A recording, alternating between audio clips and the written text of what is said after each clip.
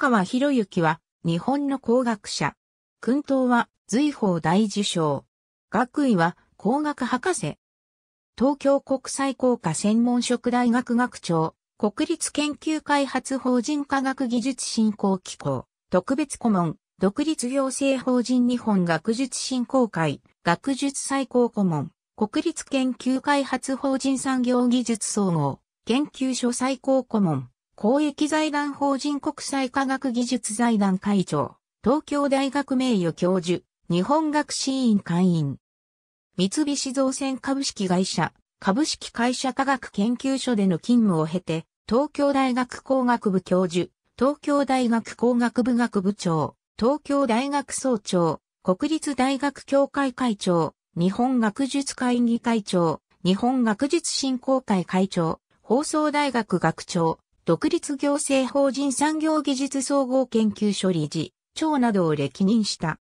1999年4月12日、総理大臣官邸にて、内閣総理大臣、小渕恵三、日本学術会議 IGBP、専門委員会委員長、かやねえさむと精密工学、一般設計学を専攻する東京府、東京市出身の工学者である。設計学、ロボット工学、信頼性工学を手掛ける。東京大学総長、日本学術会議会長、総合科学技術会議議員を歴任、1997年日本国際賞受賞。2000年レジオンドヌール勲章オフィシエ。工学や産業、教育、学術行政に関する道で要職を歴任。2005年に皇室典範に関する有識者会議の座長を務め、女系天皇を容認する報告書をまとめる。東京大学卒業後、一旦は民間企業に勤めるが、理化学研究所を経て、東大に戻る。最初の専門分野は、切削工学であった。